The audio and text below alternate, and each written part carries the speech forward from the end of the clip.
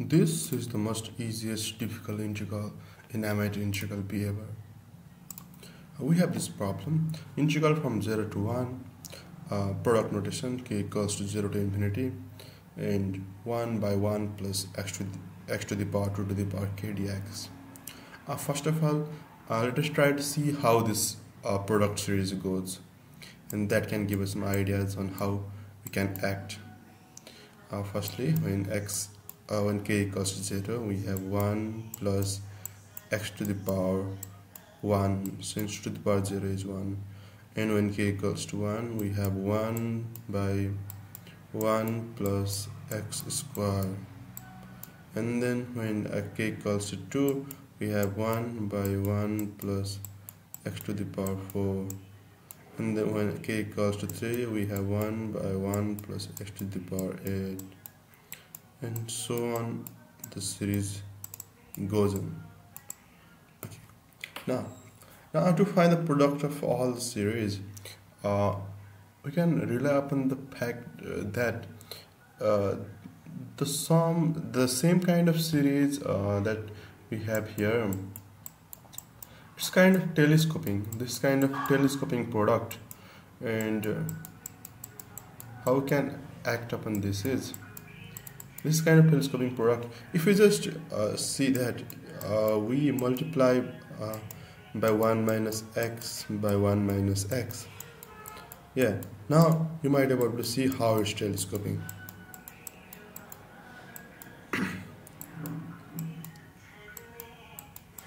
Yeah.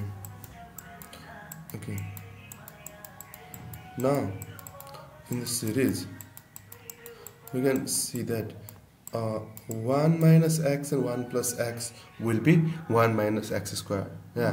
Then again 1 minus x square and 1 plus x square will be 1 minus x to the power 4 and 1 minus x to the power 4 and 1 plus x to the power 4 will be 1 minus x to the power 8 and 1 minus x to the power 8 and 1 plus x to the power 8 will be 1 minus x to the power 16 and so on it goes till infinity. Yeah do you see? Uh, it goes uh, till infinity uh, in the same way so a 1 minus x and then we will have 1 minus x to the power infinity dx. Yeah.